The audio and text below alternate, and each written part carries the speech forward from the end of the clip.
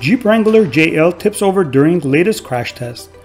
IIHS downgraded the Wrangler's rating to marginal because the tipping over could present additional injury risk beyond what the standard criteria are intended to measure, according to the Institute's press release. A vehicle tipping onto its side is not an acceptable outcome, IIHS added. The Wrangler did protect the driver's space and the dummy, controlling its movements throughout the crash. It's an unfortunate outcome for the Jeep. The 2020 Wrangler earned good ratings for the moderate overlap front crash test, the side crash test, the roof strength test, and the head restraint and seat test. However, it did perform poorly in the headlight tests.